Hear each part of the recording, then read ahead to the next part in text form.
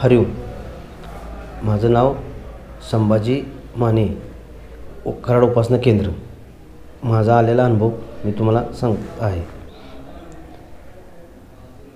November अकरा तारीख त्या टायमाला आईला माझ्या अटॅक आला. आणि आई आमची सर्व्हिसला आहे एरम हॉस्पिटलला. आणि अकरा वाजता ती ड्युटीला जात होती. त्या टायमाला ती काही मला फोन करते की अकरा ड्युटी आहे तू ये. आणि त्या टायमाला मी ती घरीच होती. आणि मी तिचा फोन न येता मी त्या दिवशी लवकर गेलो. आणि ती घरी मी गेल्यानंतर ती झोपली होती.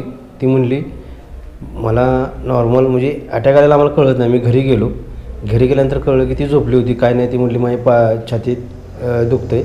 आणि ही झाले मला. म्हणजे बाथरूमला जा ही होतं आहे म्हटलं ठीक आहे. म्हटलं आजाराचं राहू दे. म्हटलं जायचं. सुट्टी घे.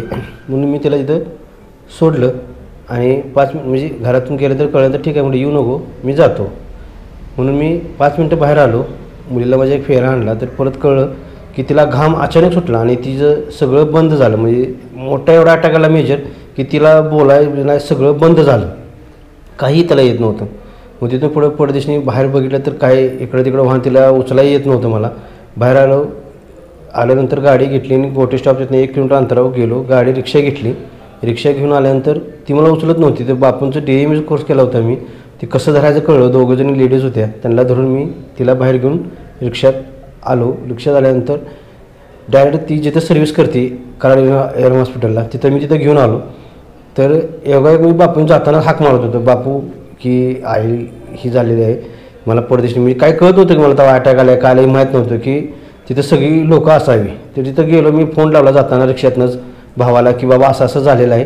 आई काही बोलून झाल्या आई विशुद्ध पडली. आम्ही परदेशी तर मी भावाला फोन केल्यानंतर भाऊ परदेशी एरममध्ये गेला आणि एरममध्ये सगळे म्हणजे आम्ही मी पोचायच्या आधी तिथं मोठे बाळासाहेब चिगमे डॉक्टर तिघे तिघं चौघजण तिथं तयारच होते. म्हणजे ते ऑलरेडी तिथे त्या उपिडीपाशी थांबलेच होते. मी तिथं गेलो आणि हे तिथं लगेच त्यांना घेतलं. म्हणजे एकदम असं एवढं झालं की सगळे डॉक्टर एका टायमिंगला आणि आई तिथे. मग त्यांनी ती पेशंट आहे जवळ पहिल्यापासून आई तिथं असतं कामाला त्यामुळे त्यांनी लगेच बघितलं. तर डॉक्टर म्हणले बाळासाहेब माझ्याकडे आले. ते म्हणले मेजर डा अटॅक आलेला आहे. आईचं काही सांगू शकत नाही. म्हणजे मेजर ही झालेलं आहे. शक्यता ही आहे. मग आई बेशुद्धच होती. आईला तिने सगळं ट्रीटमेंट विटमेंट त्यांनी चालू केली. आणि तिने बारा तासाचं ट्रीटमेंट दिलेलं किंवा असं असं होईल. आणि तिथं मी थांबलोच होतो. आणि तोपर्यंत तिथं इभूती आली. विभूती आल्यानंतर मला म्हटले का थांबलाय काय नाही म्हटलं आयला असं अटॅक आला. ते काय त्यांनी मला ते धीर दिला काय काळजी करू नको बापू आहेत. ओके इभूती तिथं कधी नाही तिथे त्या दिवशी इभूती माझ्याकडे हॉस्पिटलच पडली. मी त्यांना न बोलत त्यांनी म्हटल्यानंतर असं ठीक आहे म्हणजे बापूंचं ही कर बोललो मी आणि ते वर गेले. तिथून पुढं मला काय कळलंच नाही की बापू काय हे असं असं होतं परत मी योगेशनी फोन करून सांगितलं की असा असा विषय झालेला आहे. योगेशनी मग मी सांगितल्यानंतर बापूंचं नाव सुरू केलं. आणि डॉक्टरांनी मला स्वतःहून सांगितले की आईची काही गॅरंटी नाही. तर सगळी आमच्यातली वर आय सीमध्ये आणून होते. सगळी बापूंच्याकडं म्हणजे सगळी बसली होती. मी एकटा फक्त आई बापू दादाची हाक मारत होतो की आई जशी मला जशी होती तशी मला घरी घेऊन दे नेन. मला जशी आई पाहिजे तशी मला आई पाहिजे. जसे सरळ होऊनच माझ्याकडे आई आले पाहिजे. मग मला काही माहीत नाही. एवढं मी फक्त बापू बापू बापू बापू मला मन जाता आता ओ आता काही म्हणता येत नुसतं बापू आई दादा की मला आई माई चांगली पाहिजे एवढंच मी सांगितलं. आणि आणि बारा तासानंतर डॉक्टरने बॅचर केली की आई व्यवस्थित आहे. व्यवस्थित सगळं प्रॉब्लेम व्यवस्थित आहे. कुठलाही त्रास नाही. म्हणजे जे ब्लॅकेट होते एन्जिओग्राफी करायला लागली म्हटले थोडे थोडे त्यात ब्लॅकेट आहेत. एन्जिओग्राफी आपल्याला केली पाहिजे. त्यामुळे एन्जिओग्राफी नाही झाली तर त्यामध्ये ते ब्लॅकेट आहेत. त्यांनी दाखवलं एस काढ काढल्यानंतर की एवढं एवढं ही समजा नाही सक्सेस झालं तर एन्जिओ प्लॅस्टिक करायला लागेल. ठीक आहे म्हटले मग त्यांनी नऊचं टायमिंग घेतलं आणि ती सुरुवात केली. तर परत मला इथं कळलं की हे डॉक्टर आहेत हे डॉक्टर चांगले आहेत का नाही हे काय नाही? म्हणून बापूंचं म्हणून घेत होतो की हे डॉक्टर कुठले चांगले येतील का नाही येतील.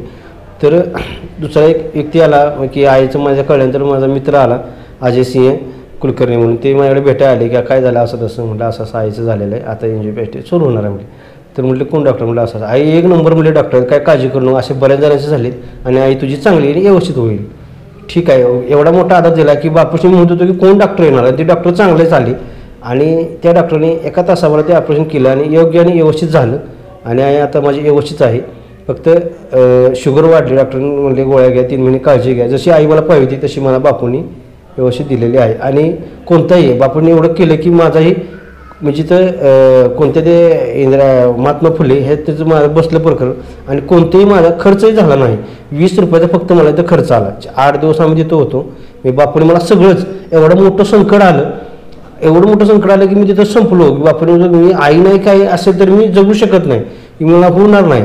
माझं माझं कर्ज पाणी कसं मी कसं करू शक फिरू शकत नाही. काहीच करू शकत नाही. तरी आईने मला फक्त म्हटलं मला माझं जशी आहे तशी ठेव मी सगळं करतो. आणि बापूने तसंच केलं.